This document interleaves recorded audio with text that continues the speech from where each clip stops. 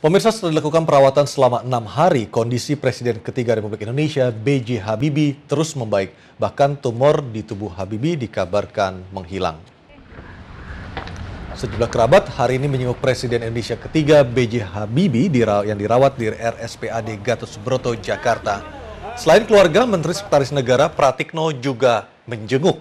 Pratikno mengatakan kondisi Habibie terus membaik, bahkan ahli pembuat pesawat ini sangat antusias dalam bercerita.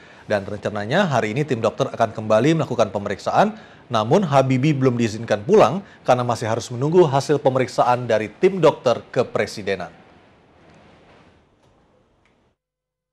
Pesan menjenguk beliau, jadi seperti biasa lah beliau sangat antusias. Saya tunjukkan ya. Ini ini foto foto saya dengan beliau ini. ini uh, ini loh ini foto saya dengan beliau ini. tadi lagi apa? Eh, lagi bercerita, ah, bercerita macam-macam lah beliau. Ah, ini menunjukkan menunjukkan HP-nya ini, beliau menunjukkan menunjukkan foto-foto ya. Jadi jadi apa?